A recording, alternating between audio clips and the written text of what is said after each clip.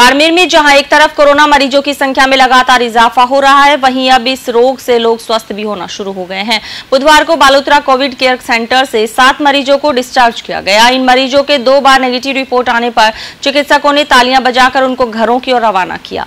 बालोतरा से नील वैष्णव की रिपोर्ट। प्रवासियों के आगमन के बाद से ही बाड़मेर ज़िले भर में पॉजिटिव मरीजों की संख्या में बढ़ोतरी हो रही है। वहीं लोगों में भय व्याप्त है। वहीं दूसरी ओर पॉजिटिव मरीजों के स्वस्थ होने का सिलसिला भी लगातार शुरू हो चुका है। बुधवार को ज़िले के बालोतरा कस्बे से एक सुखद खबर सामने आई है, जहाँ कोविड 19 केयर सेंटर से सात कोरोना मरीज़ एक साथ स्वस्थ होकर घर की तरफ़ लौट गए। बालोतरा के कोविड केयर सेंटर में एक साथ सात मरीजों के स्वस्थ होकर घर लौटने के दौरान केयर सेंटर तालियों की गड़गड़ाहट से गूंजने लगा।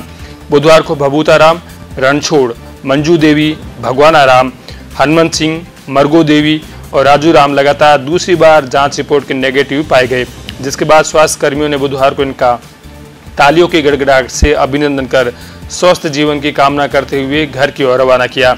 साथ ही इन स्वस्थ होकर लौटे मरीजों को अगले 14 दिन तक होम क्वारंटाइन रहने की हिदायत भी दी गई।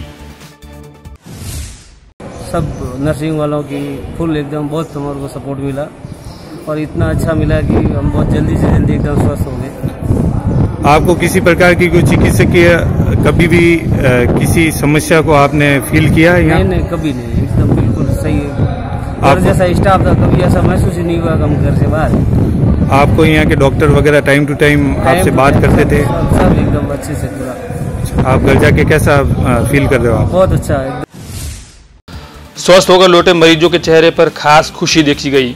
उन्होंने कोविड केयर सेंटर की व्यवस्थाओं के साथ स्वास्थ्य कर्मियों के व्यवहार की सराहना की।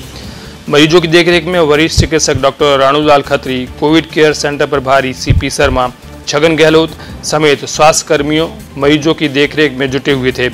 गौरतलब है कि बाड़मेर में एक साथ सात मामले सामने आए हैं, जहाँ पहली बार एक साथ सात मरीज़ स्वस्थ होकर लौटे हैं।